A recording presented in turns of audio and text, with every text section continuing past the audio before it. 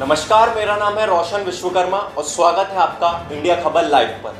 मध्य प्रदेश के इंदौर शहर में एशिया का सबसे लंबा हाई स्पीड ट्रैक शुरू हो गया, जिसका उद्घाटन मंगलवार को केंद्र मंत्री प्रकाश जावड़ेकर ने किया। दावा किया गया है कि यह एशिया का सबसे बड़ा और दुनिया का पांचवा सबसे बड़ा टेस्ट ट्रैक है। इस वर्ल्ड क्लास ट्रैक पर वाहन और उनके पार्ट्स की खराबी को चेक किया जाएगा। और क्या खासियत है इस ट्रैक की? आइए जानते हैं इस खास रिपोर्ट में। मध्य प्रदेश में अब एशिया का सबसे लंबा हाई स्पीड टेस्ट ट्रैक शुरू हुआ। इंदौर के पीतमपुर में मंगलवार को केंद्र मंत्री प्रकाश जावड़ेकर ने ट्रैक का उद्घाटन किया। ग्यारह दशमलव तीन किलोमीटर लंबे इस ट्रैक पर नए ट्रैक सुविधा का लाभ मिलेगा। इस वर्ल्ड क्लास ट्रैक पर वाहन और उनके पार्ट्स की खराबी को चेक किया जाएगा। नए ट्रैक्स यानी नेशनल ऑटोमेटिव टेस्ट ट्रैक्स में चौदह अलग अलग ट्रैक शामिल हैं।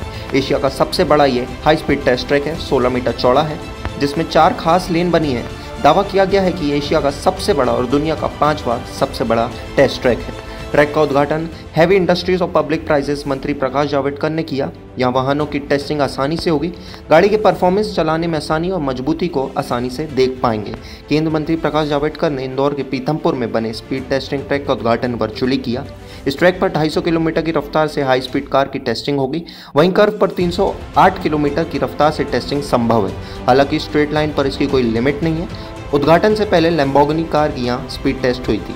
प्रकाश जावड़ेकर ने कहा कि भारत के लिए बड़ी उपलब्धि है। भारत ऑटोमोबाइल सेक्टर के लिए केंद्र है। उन्होंने कहा, ये मेक इन इंडिया के लिए एक बहुत बड़ी उपलब्धि है और जानकारी के लिए बने रहिए हमारे साथ इंडिया खबर लाइव पर।